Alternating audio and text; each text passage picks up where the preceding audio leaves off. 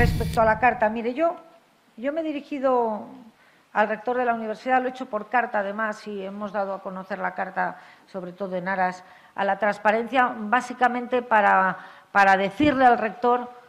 que quiero renunciar a la utilización de ese máster y explicarle al rector las razones por las cuales yo quiero de manera voluntaria renunciar a la utilización de ese máster. Yo no he cometido ninguna ilegalidad, absolutamente ninguna, ninguna, y en segundo lugar que yo he cumplido todos y cada uno de los requisitos que a mí la universidad me puso para el cumplimiento del máster, para conseguir el máster, teniendo en cuenta las dificultades que yo tenía eh, en ese momento para cursarlo. Y luego, bueno, también le he dicho al rector en la carta algunas otras cosas que creo que es importante recordar, como que yo jamás he obtenido ninguna ventaja, ni profesional, ni laboral, ni económica de ninguna clase por ese máster, ninguna. Yo debí rechazar las facilidades que me dio la universidad para cursar el máster. Por supuesto que yo pido disculpas a quien se haya podido sentir agraviado por eso, pero desde luego yo esto lo hago sobre la base de que en ningún momento yo he cometido ninguna irregularidad, ninguna, y he tomado la decisión de renunciar a la utilización de este título precisamente porque creo que, como consecuencia de cosas que se han sabido, de irregularidades que son administrativas, pues eh,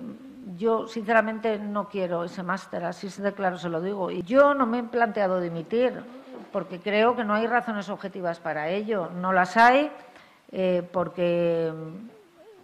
estamos cumpliendo el acuerdo de investidura, más de un 95%. No se ha incumplido ese acuerdo de investidura en ningún punto. Eso por un lado. Por otro lado, yo no estoy siendo investigada, lo que antiguamente se conoce como imputada, por absolutamente ningún asunto, ni he cometido ninguna irregularidad. Por tanto, no estoy señalada, no estoy investigada, no estoy imputada. Será la justicia quien determine las responsabilidades que correspondan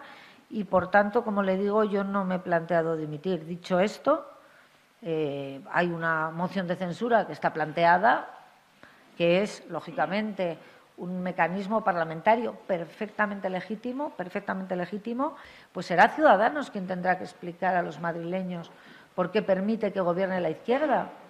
en la Comunidad de Madrid. Tendrá que ser Ciudadanos quien tendrá que explicar a los ciudadanos por qué rompe un acuerdo que estamos cumpliendo, por qué entrega la Comunidad de Madrid al Partido Socialista y a Podemos,